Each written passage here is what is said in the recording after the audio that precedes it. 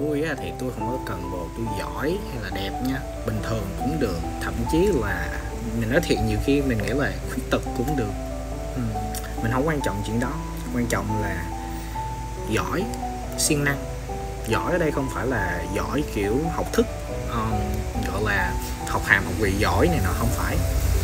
Làm á buông trải với cuộc đời giỏi ừ, giỏi tính toán um, chi tiêu này nọ tất cả mọi thứ kiểu như vậy để cho có một cái cuộc sống nó ổn định hơn về mặt vật chất.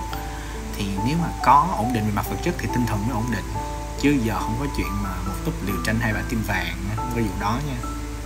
Trời tôi nói mọi người nghe quen bồ là phải cùng cố gắng làm việc đúng không? Kiểu như vậy mà giờ mình chưa có tìm được cái người nào mà cùng cô cùng mình cố gắng để mà mà kiểu có một công việc ổn định nè rồi có một cái gia đình kiểu như vậy á thậm chí giờ mình sống sống cô đơn nhá. Còn tốt hơn là hồi mình quen bồ cũ của mình nữa, kiểu giống vậy á.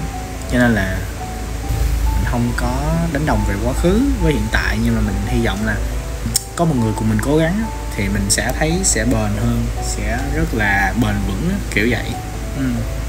mình mình vẫn muốn có có có có bồ, nhưng mà kiểu tạm thời giờ mình chưa tìm được, chứ không phải là mình không yêu.